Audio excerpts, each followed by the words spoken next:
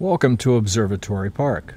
We're going to take you on a virtual tour of Phase 2 construction progress on October 27th, 2010. The entrance drive we're on now will be paved before the park opens. It's usually breezy at Observatory Park, but on this day the winds were particularly strong after yesterday's storm.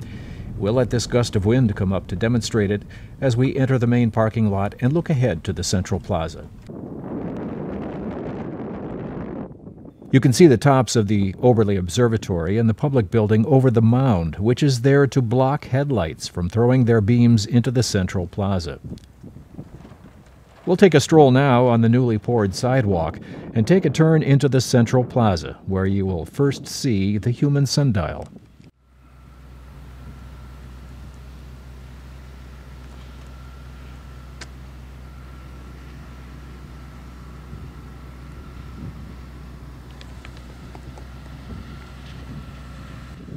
Up ahead, the Oberle Observatory is on the left and the public building is on the right.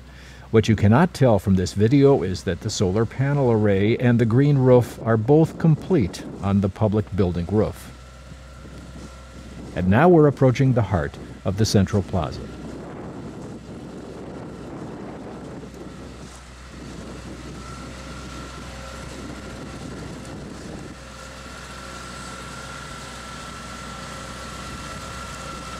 A close look at the front of the public building and its roof, hosting the solar array on the high side and the green roof on the low side.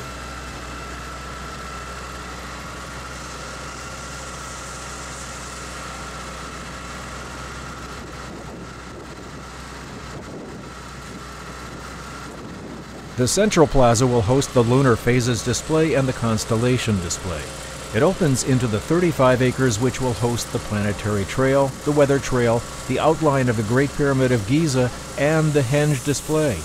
This is but now we see Oberle Observatory, where the refurbished Oberle telescope will be housed. The huge tube for the telescope is moved into place on its heavy concrete pedestal just the day before, which we will see in a moment. You get a glance at the retractable roof. As we enter Oberle Observatory, the first person you see is Aaron Young, Planning Department Director. The gentleman in the background is on the Hummel construction crew, which is our Phase 2 contractor from Ravenna. Up on the pedestal is Chris Lynn, park planner and the planning staff person assigned as the point person for Observatory Park. As you can see, the esoteric components of the telescope are yet to be installed.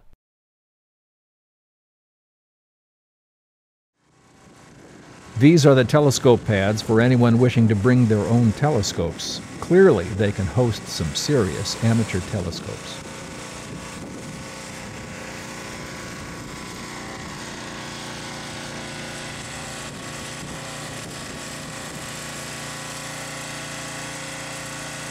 Another good look at the immediately adjacent 35 acre site for the planetary and weather trails, the henge display, and the outline of the Great Pyramid of Giza, the latter of which will have four cornerstones, each the exact size of those of the actual Great Pyramid. Let's step across the central plaza and enter the public building.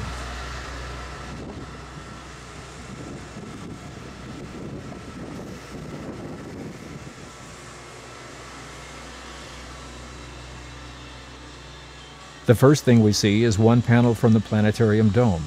Looking up, we can see the cables which will suspend the dome. On the roof above those cables is the solar array, providing renewable energy for Observatory Park. As we look to our right, you can see the other panels for the planetarium.